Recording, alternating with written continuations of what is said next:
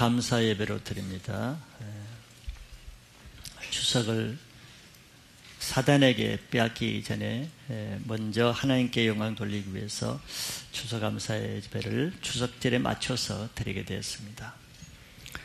추수 감사 예배는 예, 우리에게 물질 사용에 대해서 하나님이 원하시는 기준, 원리가 무엇인가 하는 것을 가르쳐 주시는데 더 큰 의미가 있다고 할 수 있습니다. 우리 추수감사절에 해당되는 같은 의미의 히브리 절기를 찾는다면 아마 그 중에서 초막절이라고 할 수 있습니다. 그래서 오늘 본문 말씀은 초막절에 대한 내용이죠. 그래서 초막절은 사실 지금 절기가 아니죠. 그래서 우리도 다음부터는 추수감사 예배를 추석절보다는 사실은 초막절기에 맞춰서 드리면 더 의미상으로는 더 좋은 면이 있을 것 같습니다. 이스라엘의 모든 절기는 농사와 관련되어서 제정되었기 때문에 주로 농사의 때와 연관이 있습니다. 여러분들 농사 절기는 양력으로는 농사를 못 짓죠. 여러분들 시골에서 잘하신 분은 뭐 아시겠지만 시골에는 농사 짓는 사람에게는 지금도 음력 달력이 있어야 됩니다. 양력은 맞지 않기 때문이죠. 그래서 어, 음력 달력은 달을 중심으로 한 달력이죠. 그래서 초막절 날짜도 마찬가지입니다. 이스라엘의 절기들은 다 태양력, 우리가 쓰는 이런 양력 달력이 아니고 달을 중심으로 한 유대력에 의해서 절기를 지키기 때문에 우리 날짜로는 매년 틀리는 거예요. 아직 추석을 우리가 지내는 것은 음력으로 지내죠. 8월 15일. 그래서 추석 날짜가 해마다 양력으로는 틀리는 것처럼 유대 명절도 해마다 우리 태양력과는 틀리는 이유가 거기에 있습니다. 초막절은 히브리어로 수꽃이라고 하는데 이 수꽃이라는 이 절기는 매년 유대력으로는 같은 날짜죠. 7월 15일부터 일주일 동안 지낸 날짜입니다. 그래서 그것이 언젠가 제가 올해 유대력 달력을 카렌더를 봤더니 우리 태양력으로는 10월 9일부터 시작되더라. 10월 9일부터 일주일 동안이 아직 초막절입니다. 아직 한 한 달 남았죠. 그러니까 하나님이 정하신 이런 절기는 하나님이 우리에게 주신 은혜, 특별히 초막절 같으면 하나님이 주신 소출, 물질에 대해서 우리가 어떤 자세로 그것을 다루고 가져야 되는가 하는 것을 알려주시는 것이 절기를 제정하신 하나님의 더 큰 목적, 뜻이 있다고 할 수 있습니다. 그래서 하나님은 특별히 절기가 많이 있지만서도 본문에 나온 대로 16절에 보면은 세 절기 6월절 그 다음에 77절 그 다음에 오늘 보는 이 추막절. 이 세 절기는 반드시 지키되 그냥 지키는 것이 아니고 하나님이 정하신 곳. 그는 예루살렘 성전이죠. 예루살렘의 모든 남자는 올라가서 이 절기를 의무적으로 지키게끔 했습니다. 이 절기를 지킴으로 인해서 하나님이 우리를 향한 계획과 뜻이 무엇인가를 기억하고 또 알게 하기 위한 목적이 있는 거죠. 단지 절기만 지키는 게 목적이 아닙니다. 그런데 이 세 절기 중에 초막절은 1년 중에 맨 마지막에 오는 마지막 절기입니다. 이스라엘은 봄농 봄에 거두는 예, 보리는 봄에 거두죠. 예, 봄에 거두는 예, 오순절 때는 그 칠칠절 때는 그런 수확하는 절기도 있고 또 가을 늦게 또 한 번 더 거둬요. 우린 어, 우리도 좀 비슷하죠. 그래서 마지막 1년 중에 곡식을 거두는 그 시즌이 아, 초막절입니다. 그래서 모든 곡식을 창고에 거둬들인 다음에 이 절기를 지킨다 그래서 수장절이라고도 하죠. 수장, 이 창고에 들인다 말. 같은 말이에요. 초막절 또 수장절. 그리고 이때는 이스라엘 백성이 자기 집을 놔두고 집 밖에 초막을 지어가지고 장막을 지어가지고 일주일 동안 집 밖에서 거하게 했습니다. 그래서 그걸 장막이라고 해서 또 이름을 장막절이라 이렇게 말하는 거예요. 세 가지 초막절, 또 수장절, 장막절 같은 절기입니다. 지금도 여러분 초막절에 예루살렘에 가면은 예루살렘 빈 공간마다 특별히 공원 같은 데는 이 종려나무 같은 이런 가지로 이 텐트 초막을 지어놓고 가족들이 그 안에서 일주일 동안 살아요. 자기 집을 비워놓고. 그러니까 초막 칠 때가 많지 않잖아요. 그러니까 이스라엘에는 어떤 집이 비싸겠어요? 어, 아파트 같으면 베란다가 있는 아파트가 비쌉니다. 왜 그러냐면 이 종교인들은 텐트 칠 데가 없어도 텐트를 쳐야 되니까 초막을 쳐야 되니까 장소가 없 을 때는 어디다 치면 아파트 베란다에다 초막을 지어놓고 안방 놔두고 거기서 일주일 동안 거기서 사는 거예요.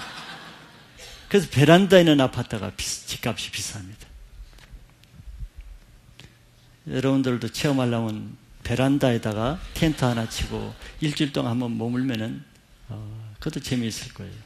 예. 초막절, 장막절이 어, 이렇게 지내는 것이죠.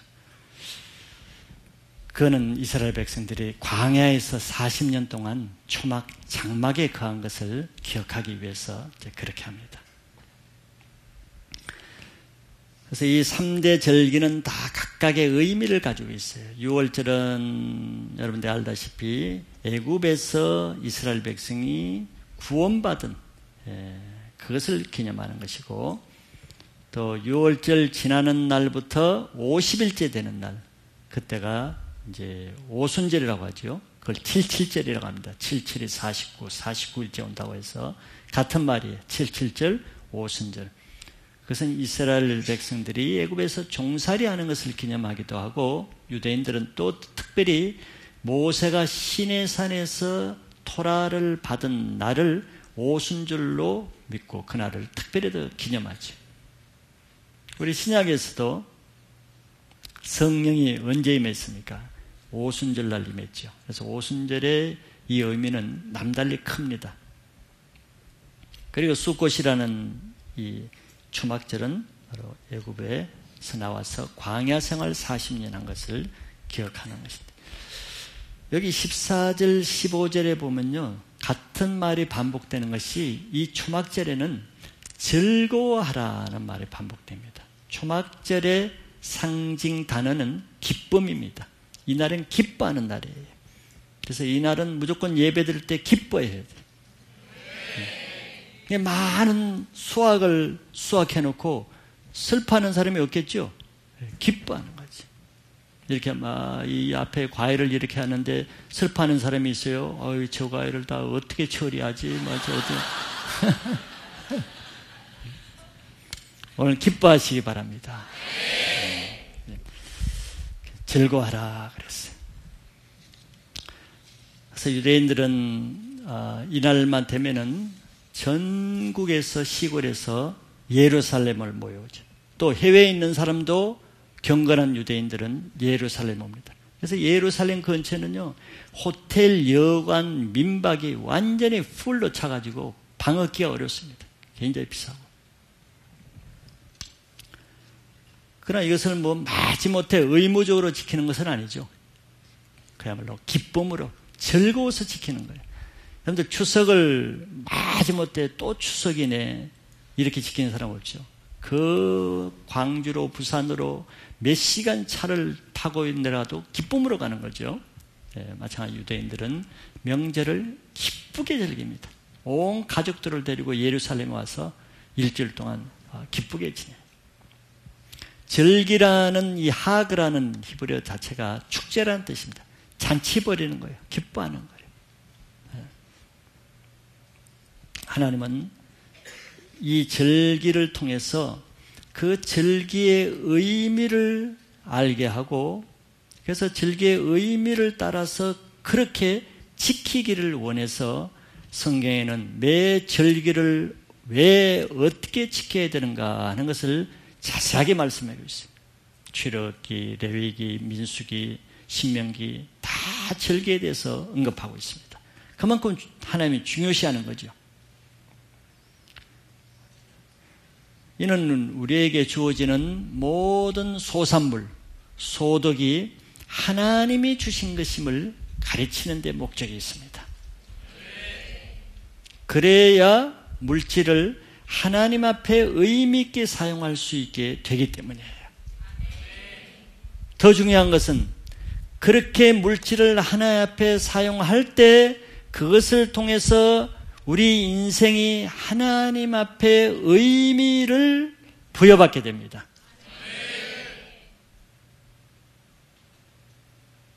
이해하셨기 때문에 아멘이라고 하셨겠죠? 네.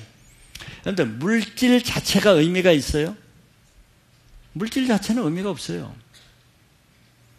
물질에 하나님의 의미를 부여할 때 그의 의미가 있는 거예요. 마찬가지로 사람도 마찬가지입니다. 사람이 태어났다고 해서 사람이 의미가 있는 게 아니죠. 또 의미 있는 인생을 사는 게 아니죠. 하나님이 그 인생에게 의미를 부여줄 때 그때부터 인생이 의미 있게 되는 거예요. 아멘 하신 분은 이해하셨겠죠?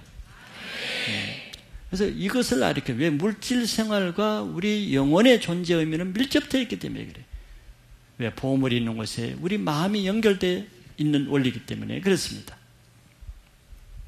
그래서 이런 절기의 의미를 모르게 되면은 단지 그냥 절기 때 그냥 농사해서 추수한 곡식으로 자기 먹고 마시고 배불리 사는 이런 수준의 아주 무의미한 인생이 되어버리는 거예요. 절기의 의미를 모르면. 즉, 하나님이 정하신 절기의 의미를 잃어버리면은 우리 인생이 살아가야 되는 의미, 존재 의미 자체를 상실하게 되는 거예요. 이해가 되시길 바랍니다. 왜냐하면 물질은 수확해서 거둬들이는 그 자체로 의미가 있는 것이 아니기 때문에. 또 물질 자체가 물질이 많다고 해서 그것이 우리 인생을, 내 존재 인생을 의미 있게 해주는 것이 아니기 때문에 그래. 사람들은 안 그렇다고 생각하죠. 그러니까 실제로 물질이 많다고 저절로 그 사람의 존재 인생의 의미와 또 인생이 행복하게 되는 것은 아니죠. 그것이 그걸 말해주는 거지. 물질 자체가 우리 인생을 의미 있게 해주고 삶의 질을 풍성하게 해주고 행복하게 해주는 건 아니란 말이지. 많은 물질을 가지고도 얼마나 고민하고 인생을 한탄하고 부부간에 파탄이 되고 이혼을 하고 자녀 부모 자녀 간에 완전히 깨어진 인간관계도 그게 뭐가 행복해? 많은 물질을 가지고 물질 자체는 그런 역할을 못하는 거예요. 또 물질이 없다고 해서 반드시 불행한 건 아니에요. 물질이 우리 인생을 좌우하는 게 아니에요. 우리 존재 가치를. 하나님이 어떻게 사용하느냐, 하나님이 그것에 어떤 의미를 부여하느냐, 하나님께 달린 것이죠.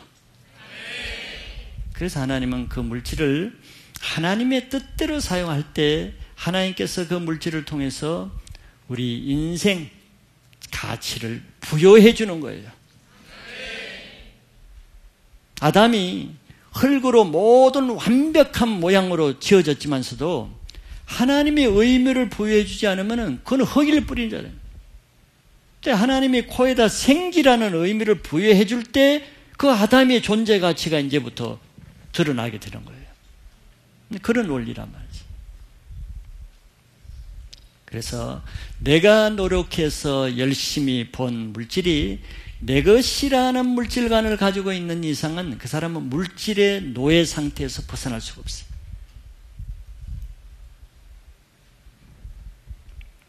그 사람은 하나님이 주신 물질을 하나님을 위해서, 즉, 하나님의 뜻대로 쓸 수 있는 자유의지를 이미 빼앗기 있기 때문에 불행한 인생을 사는 여러분들이 얼마나 자기가 본 물질, 그것을 얼마나 하나님의 뜻대로 쓸 수 있는 능력을 가진 사람이 얼마나 돼요? 많지 않을 거예요.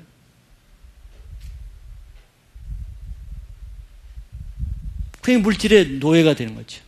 물질은 만몬이라는 영이라고 말하죠. 만몬의 영에 속죄된, 속박된 상태란 말이죠.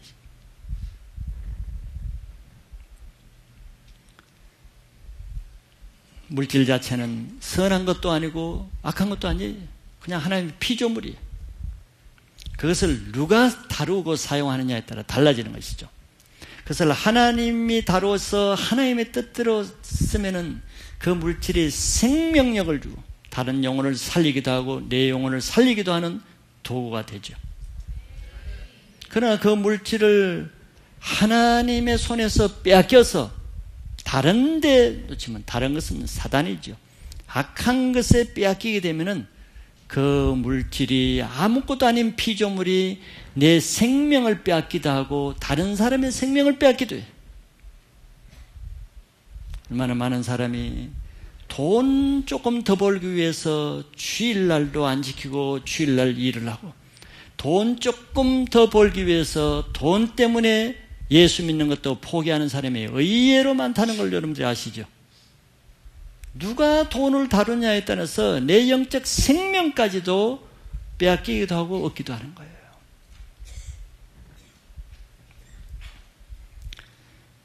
물질의 최고 가치는 어떤 때 부여되느냐면은 그 물질이 만들어진 원래 하나님의 뜻대로 그것을 통해서 하나님의 영광이 드러나게 될 때 하나님은 그 물질에 최고의 가치를 부여해 줍니다.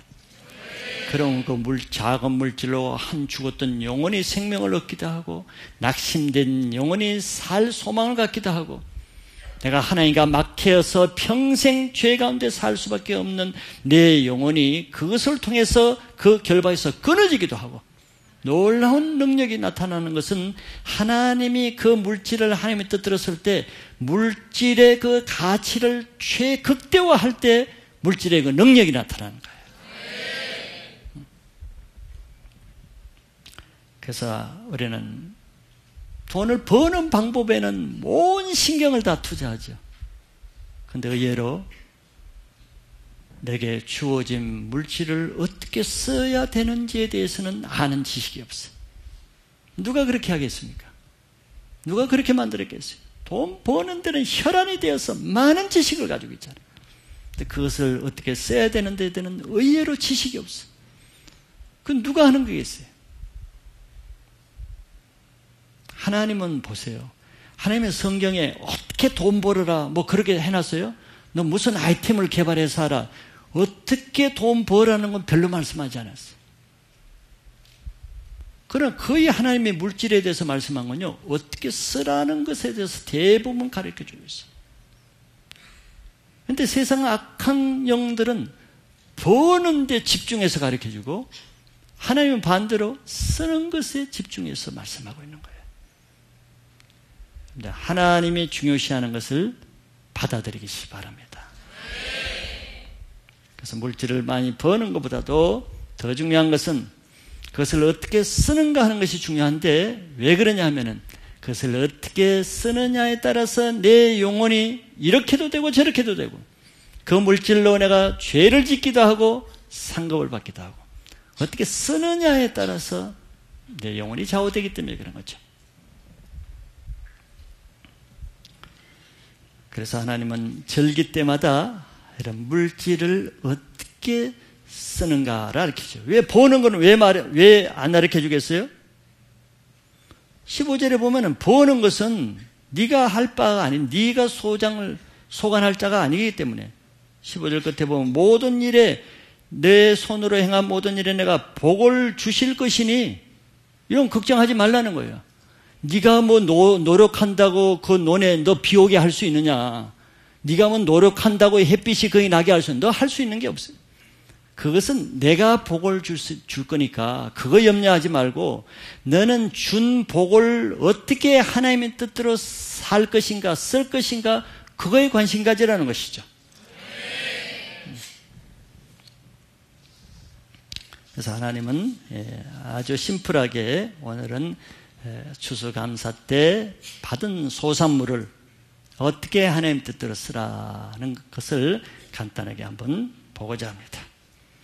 먼저 첫째는 다른 사람과 함께 즐기라.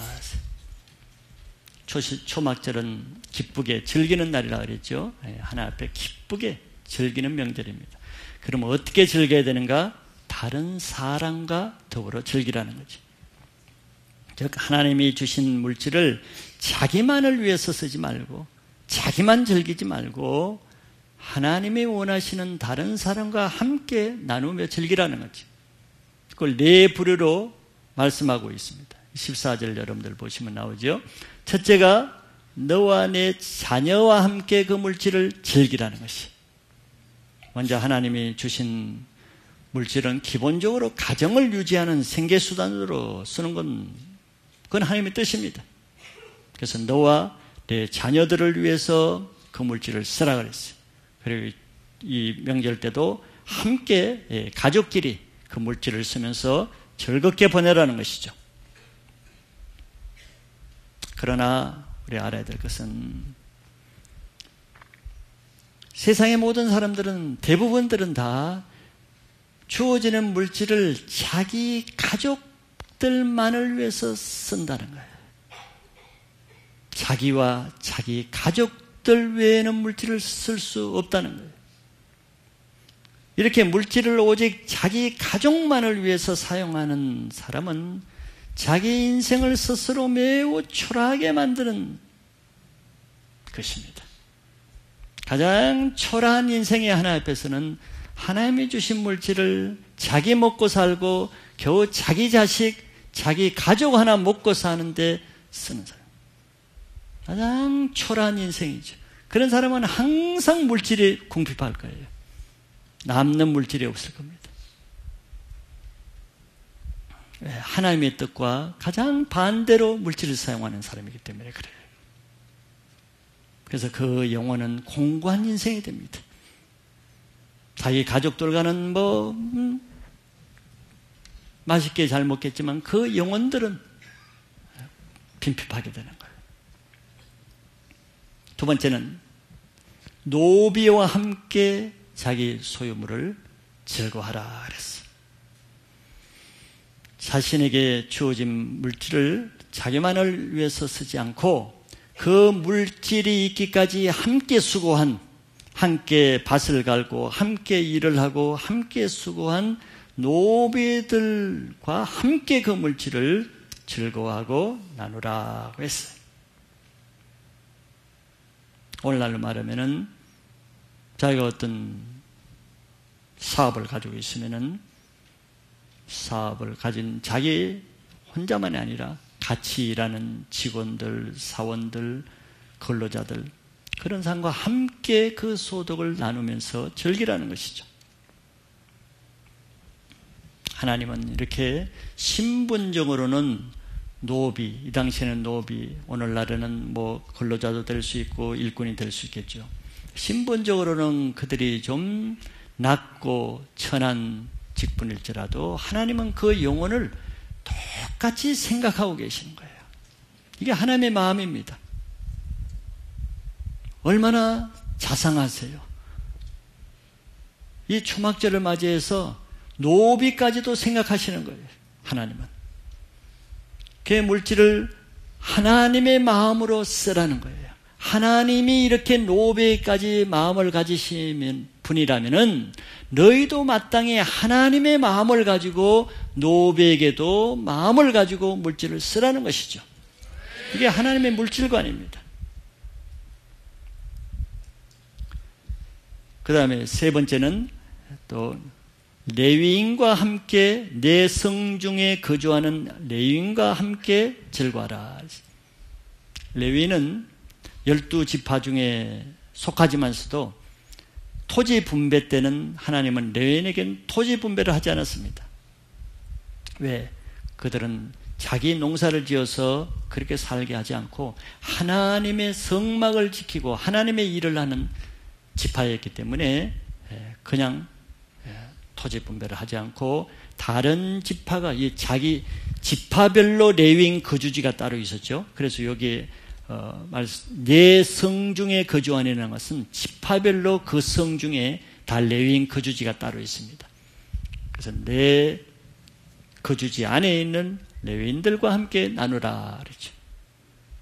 또 하나님의 마음을 증가하죠. 노비에게 두신 하나님의 마음을 증가했지만 증가하는 것처럼 하나님을 사랑하는 마음을 하나님의 사람을 통해서 나타내게 하시는 거죠. 그러니까 하나님을 섬기는 일을 생각하면은 하나님을 섬기는 사람을 생각하라는 하나님의 마음을 전달하는 것입니다. 그 다음에 네 번째는 객과 고아와 과부가 함께 즐거워하되 그랬습니다. 이 특징이 뭡니까? 공통점이 있죠. 객은 나그네입니다.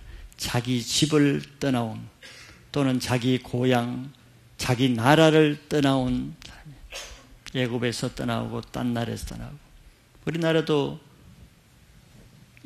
이주 노동자들이 많지요. 동남아시아에서 온, 중앙아시아에서 온 이런 자기 고국을 떠난 이들이 나그네입니다. 그 다음에 고아는 부모가 없는 자녀들이죠. 과부는 남편을 잃은 분들입니다. 공통점은 이런 초막절을 명절을 맞이해서 딴 사람들은 다 가족과 함께 이 명절을 기쁘게 즐기는데 함께 할 가족이 없는 외로운 사람들이죠. 공통점에. 추석에 대해도 뭐 길이 10시간, 20시간 걸려도 갈 가족이 있는 사람은 행복한 것이죠. 그러나 아무리 가까워도 갈 가족이 없는 사람은 어, 추석을 외롭게 보낼 수밖에 없지. 하나님은 그런 사람에게까지도 지금 마음을 가지시고 계십니다. 명절 때 기뻐하는 사람만 기뻐하는 것이 아니고 그날에 기뻐할 수 없는 사람에게도 하나님은 마음을 가지고 있어요. 이게 하나님의 긍휼이고 자비지요. 그렇다면 너희도 내가 가지는 이 마음을 동일하게 가지고 그들과도 내 소산물을 가지고 같이 기뻐하라는 것이죠. 이렇게 물질은 자기에게 주어졌다고 해서 자기 혼자만을 위해서 사용하는 것은 그는 하나님의 마음을 완전히 잃어버린 사람입니다. 하나님 뜻과는 아무 관계없이 사는 사람이죠. 하나님 믿지 않는 사람은 대부분 어, 내가 피땀 흘려 본 돈 내 마음대로 쓰지. 이게 어디서 나온 거예요? 이거는 하나님을 잃어버린 사람. 사단이 준 네, 거짓된 마음에서 나온 것이죠. 우리는 그걸 합리화합니다. 당연히 여깁니다. 어, 내 돈인데 뭐. 어, 내 물질인데 뭐. 그래서 이런 절기를 통해서 사단에게 빼앗겨버린 물질관을 다시 회복하고 다시 알고 다시 새롭게 하기 위해서 절기 때마다 이런 말씀을 주는 거예요. 하나님의 은혜로 주어진 것이기 때문에 우리는 하나님의 뜻대로 사용해야 될 책임이 있는 것이에요. 예수님이 이런 것을 신약에서 누가 본것 같은데 비유로 하기에 청지기 비유를 하시죠. 청지기는 그 집 관리장 뭐 이렇게 설명할 수 있죠.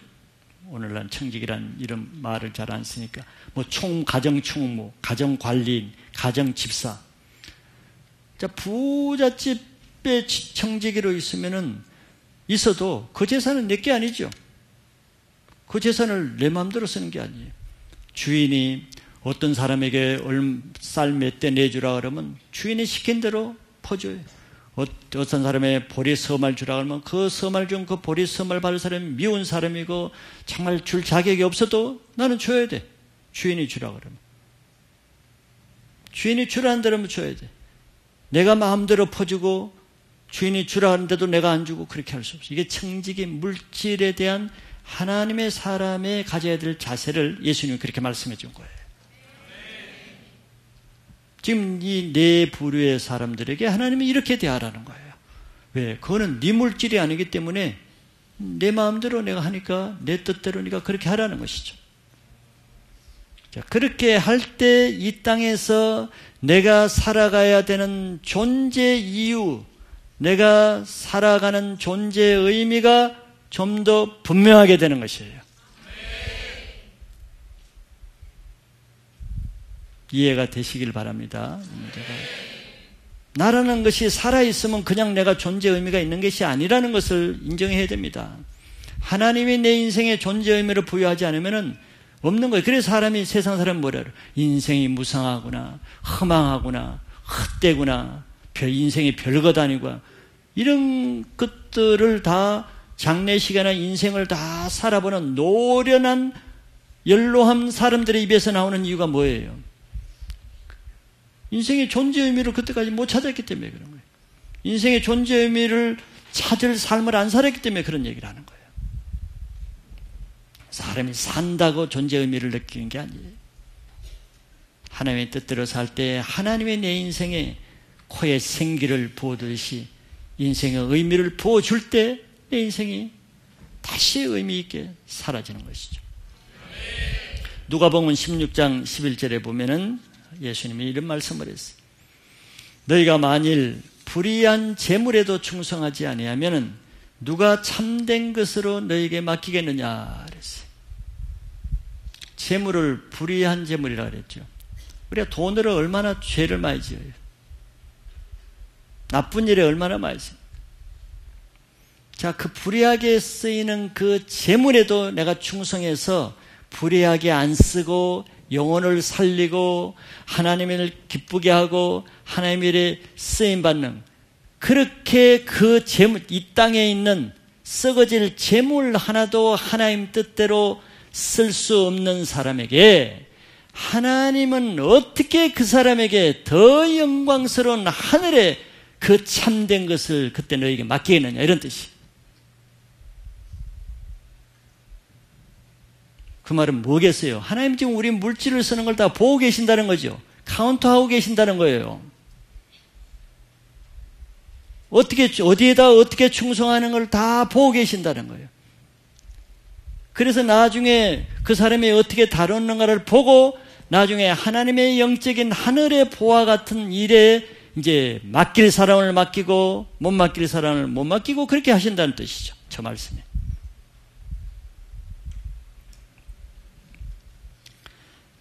땅의 보물로 우리는 하늘의 보화를 쌓는 지혜로운 삶을 선택하시길 바랍니다. 마지막 두 번째는 하나님과 함께 즐기라는 것이죠. 주막절에 가장 중요한 것은 역시 먼저 그 모든 소치를 하나님께 가져 나와서 하나님께 감사 제사를 드리는 것입니다. 근데 그때 하나님은 어떻게 나가라고 합니까? 16절 끝에 보면은 여호와께서 택하신 곳에서 여호와를 배웁되 빈손으로 여호와를 배웁지 말고 각 사람이 내 하나님 여호와께서 주신 복을 따라 그 힘대로 들을지니라 그랬어. 빈손으로 가지 말라. 또 주지 않는 것을 드리라 말하지 않죠. 뭐안 줬으면 뭐 하나님 뭐라 그러지만 주신 복을 따라라 그랬어. 이미 준 것, 주신 복을 따라 그 힘대로 들지니라 그랬어. 힘대로라는 것은 하나님의 은혜 분량대로 자원함으로 힘되는 대로 드리라는 것이죠. 즉 분량이라는 것은 많이 받은 사람은 많이 드리고 적게 받은 사람도 그에 따라 그냥 드리면 되는 이게 물질관이죠. 물질이 자기 것이라고 생각하니까 이것이 어려운 것이죠. 내 것인데 또내 마음대로 하는 거지. 내 분량에 따라. 그래서 실제로 사람들이 하나님의 기준은 많이 받은 분량대로 하라 그러지만 그렇게 잘 안 되는 경우가 많아요. 실제 사람들의 물질 생활은 받은 물질의 분량대로 드리는 것이 아니라 받은 은혜와 믿음의 분량에 따라 드리는 것이 대부분의 실제입니다. 받은 은혜가 많으면은 적게 받아도 받은 것보다 많이 드리려고 그러죠. 믿음이 있으면은 있는 것보다 더 많이 드리려고 그러죠. 그러나 은혜가 없으면은 많이 받고도 적게 드리려고 합니다. 믿음이 없으면은 드릴 수 있어도 드리지 않으려고 그래요. 이 영적인 원리죠. 우리 이제 MTC 성교훈련센터가 한 1년 반 이상, 그다 이제 한, 한 달 준공을 앞두고 있습니다. 큰 공사였죠. 진짜 기도하고 헌신하는 사람들은 참 마음을 다해서 어, 헌신했죠. 그런 건축에도 물질이 많은 사람이 헌신하는 게 아니에요. 절대 그럴 수 없습니다. 가진 것이 없어도 하나님을 많이 사랑하는 사람이 많이 헌신하게 되죠. 하나님을 사랑하지 않으면 물질이 있어도 자기를 위해서는 풍성이 있어도 하나님을 위해서는 쓸 능력이 없습니다. 이건 억지로 되는 게 아니에요. 저는 뭐 교회에서 뭐 건축 1년 거의 2년 가까이 돼도 제가 건축원 근무하라 얘기 거의 설교 안 했을 거예요. 그 한다고 되는 게 아니에요. 하나님은 억지로 하는 걸 받지 않거든. 자원함으로 받기 때문에. 그러면은 이제 문제는 자기 육신은 풍성하게 살지 몰라도 자기 영혼은 늘 빈곤한 삶을 면치 못한다는 문제가 있는 거지. 물질을 자기를 위해서면 뭐 육신은 뭐 잘 먹고 잘 살고 뭐 자기 가정 자식을 가족을 위해서 재밌게 살 수는 있는데 그 사람의 영혼은 빈곤함을 면치 못하는 거예요. 하나님이 의미를 부여해줘야 그 물질의 의미가 있고 인생의 존재의 삶의 생명력이 나타나는 것이지 자기가 뭐 멋진 인생, 멋진 삶을 산다고 해서 그게 사라지는 게 아니에요. 내가 멋진 행복감을 느끼고 싶다고 해서 백만금을 가진다고 해서 행복감이 내가 만들어낼 수 있는 게 아니에요. 그래서 이런 주막절 같은 데는 하나님에 대해서 하나님 중심적으로 삶을 살게 하는 하나님의 물질관을 통해서 하나님과의 관계를 어떻게 가질 수 있는가 그걸 가르쳐 주는 거지. 이와 같이 하나님은 절기를 통해서 예, 우리 물질에 대해서 다룬 이유는 물질이 우리 영적인 것과 영혼의 생명과 밀접되어 있기 때문에 그래요. 왜? 사단은 이 만몬이라는 이 물질을 이용해서 우리가 예수 못 믿게 하지요.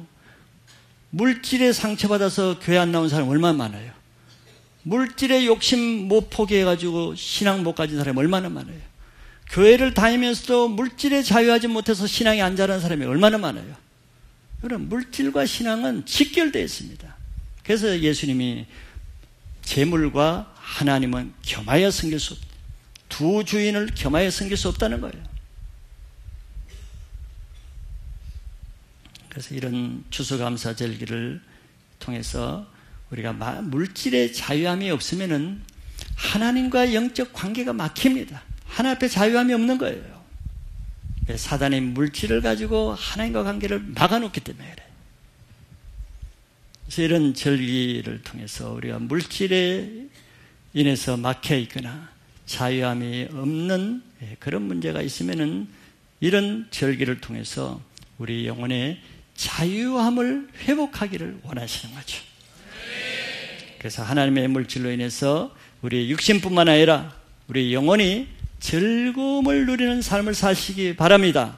많은 물질을 쌓아놓고 염려 근심으로 자유함 없이 하나님을 떠나는 불행한 인생이 되기보다는 없는 물질이라도 하나 앞에 막힘이 없이 하나님과 영적으로 가까이 나가는 자유함을 받는 물질 생활이 주어지시기를 축복합니다.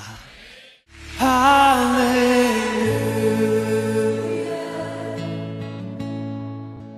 할렐루야.